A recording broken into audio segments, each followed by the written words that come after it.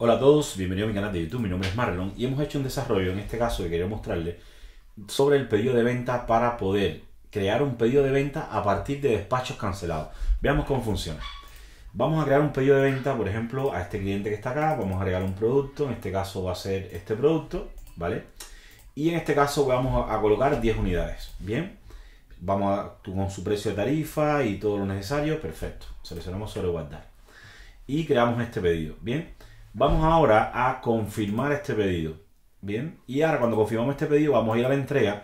Y como ustedes saben, Odoo permite hacer entregas parciales, por tanto, con la ayuda de otro módulo vamos a hacer cargar productos, me va a aparecer esto acá, selecciono sobre editar y voy a seleccionar 5 unidades, ¿vale? Por tanto, estoy despachando de las 10 unidades, 5 unidades. Selecciono sobre guardar. Y ahora valido este albarán. Y Odoo me dice, estás creando una entrega parcial, Perfecto, crear entrega parcial a este botón que está acá y listo. Vamos ahora al pedido. Fíjense que tengo dos entregas. Una entrega que está hecha y la otra en espera. Pero sabes que el cliente dice, eh, oye, sabes que lo que queda, por favor pásamelo con otro pedido. Bien, entonces tenemos este botón que lo creamos nosotros, que crea esta opción de procesar y te pregunta, bueno, ¿qué es lo que quieres hacer?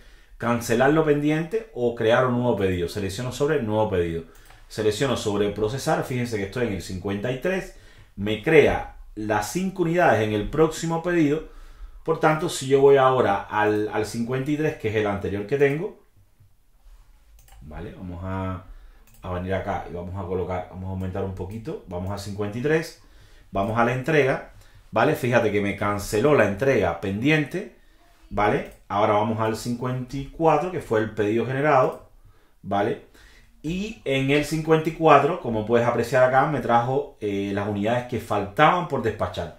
¿Vale? Eso es lo que hace este módulo. Bien, espero que les haya parecido interesante y nos vemos en un próximo video. Muchas gracias. Mi nombre es Marlon Falcón. Aquí les dejo mi página web por si quieren contactarme y aquí me pueden contactar. Gracias.